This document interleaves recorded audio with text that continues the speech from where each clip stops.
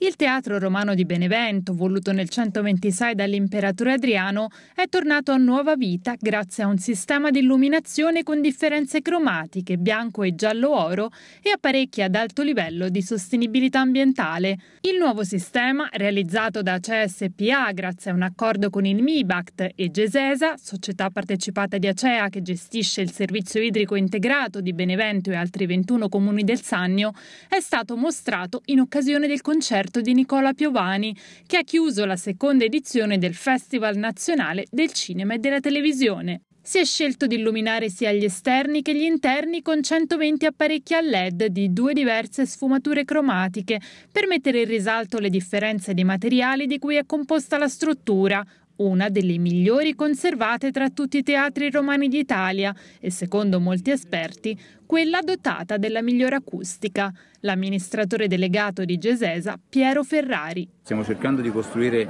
un territorio che possa veramente valorizzarsi, che possa consegnare alle generazioni futuro, future sia un ambiente più pulito attraverso queste attività, perché L'illuminazione a LED sicuramente riduce l'impatto ambientale, ma che possa dare anche un futuro in termini occupazionali perché è un'azienda che ha la pretesa di crescere, un'azienda che ha voglia di svilupparsi sul territorio ed essere un punto di riferimento. Questo lo stiamo facendo con il grande aiuto di Acea e sicuramente Gesesa ne è il motore territoriale.